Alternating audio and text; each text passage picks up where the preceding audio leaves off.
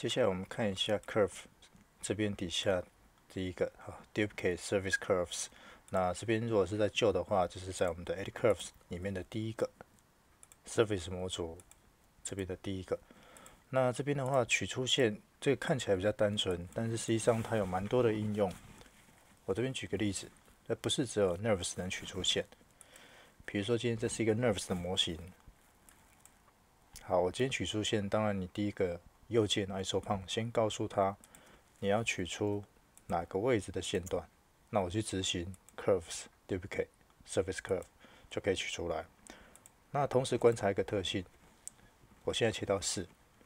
我现在选到模型的时候呢，这边的线啊，这里可能看不太明显。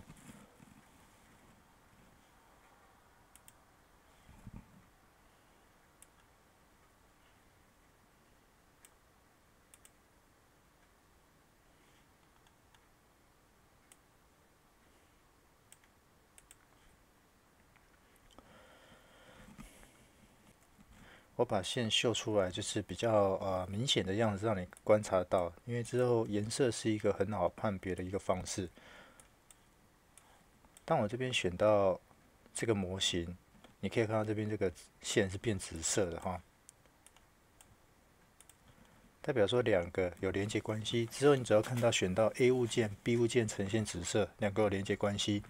那所以我这个模型，我去调整它的点。你会发现这个线的位置是跟着改变的，或者说我移动这个模型，这个线也会跟着走，而不是独立出来的啊。所以它们两个是有连接关系，我们就可以利用这样的特性去做一些应用。那当然，Polygon 也是一样。我这边先用一个方块哈，因为方块的线比较少。那 Polygon 取出线的话，就是记得右键。切到 Edge 的模式，先选择你的边线。那一样的，我去执行 Curves Duplicate Surface Curve。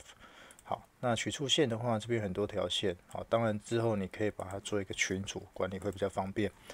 那这边的话，相同的，我选模型，我切到四，因为这边显示来讲可能不是那么清楚。我去调整它，你发现这个线会跟着走。好，那我们就可以利用这样的特性做一些渲染的一些特殊效果。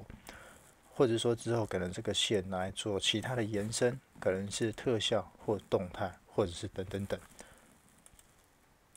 那刚才 Polygon 的线取出来都是一段一段的，那等一下有另外一种方法可以取出 Polygon 完整的线段。比如说我这边用一个 Polygon 的圆柱，我用刚才的方法，比如说我取这个边边的线，我快速点两下，整个边我去执行 Curves Edit Curve Duplicate Surface Curve，一段一段。那如果是连续的，这边就变成要 modify convert。那这边有一个 polygon edge to curve，所以这边取出是一个完整的连续线段。那像这边使用 modify convert polygon edge to curve 取出这个线段呢，它预设是一个弧形的，怎么看？这边的属性，你可以看到它的 degree 是三。好，那如果说我今天是要取这个方向，一样的，我切到 Edge，我快速点两下，好，切到四哈。那这边的话，我这个线如果用一样的 Modify Convert Polygon Edges to Curve，取出来你会发现是这样的一个线性。所以我们这边这个的属性，好，Control A 底下 Inputs Degree，我把它切成一。你可以发现这个线就变成是一个直角的线段。那反过来，我今天这个线段呢，我是要变成一的 degree，它这个线就是跟原来这个弧度是契合的。所以使用的时候，自己可以选择说你是要一个比较平滑，好，或者说这边可能是比较直角，所以跟这个曲线的 degree 是有关系，所有的曲线都相同。好，所以以上这边这两种曲线的方法。曲线取出线段，不管 nerves 或 polygon，知道之后呢，这个方法可以做很多延伸。我这边做一个很简短的延伸，比如说我这边弄好一样，我用这个圆柱哈，那这个是 polygon，那这边这个是 nerves。我们一般渲染的时候，出来就是这样的样子。那如果我要去渲染出框线，那框线的话，以前早期可能是用 mental ray。或者是所谓的 vector 算图，那当然也可以后置等等等。那这边我们用这样的特性，比如说我这边把它线取出来，我们利用刚才的取出线段，那这边的 ISO 判我都选起来，一样的我去做取出线段。那这边所有的线段我都把它选起来，选的时候可以利用这边的选取遮罩。比如说我目前场景上只有模型跟线。所以我把模型关掉，我这样选一定都是选到曲线。那我们搭配 Window Generator Visor。好，比如说我这边以这个 Paint Face 里面的 Gloss 为例子，我这边套用这一个哈，这边有个霓虹的效果，Shift 加选它，好，所以我的曲线跟这个都选起来。那这边的话呢，我们去执行，如果是一六版，是这里是在 Generate，这边有跟曲线有关，就是 Curve Utilities，这里有一个 Attach Brush to Curve。那执行之后呢，底下这边就会有一堆这个 Stroke。那这边的参数我们先不调，我先用预设值，我这边先切为 Q 哈，因为刚才笔头是在产生的状态。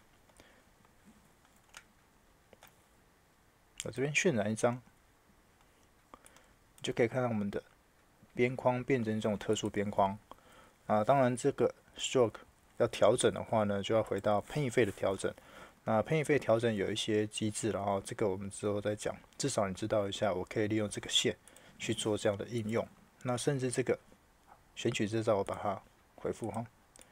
我选模型，我去做调整，甚至你这个模型可能是动态的。那掌握一个原则，选到的东西在空白地方右键，这个一定是模型的右键。我现在去做一个渲染，就可以看到它是跟着联动的。好，当然如果模型不要，你可以删除，或者是利用 Ctrl H，就是之前讲的 Ctrl H，把它做一个隐藏。所以这边渲染出来的效果，就是有这种特殊效果。好，所以这边取出线段的其中一种应用就是这种特殊边框的效果。好，所以这个可以当参考，因为这个之后延伸可以有很多种变化，甚至有一些扫描线，好搭配我们的投射等等。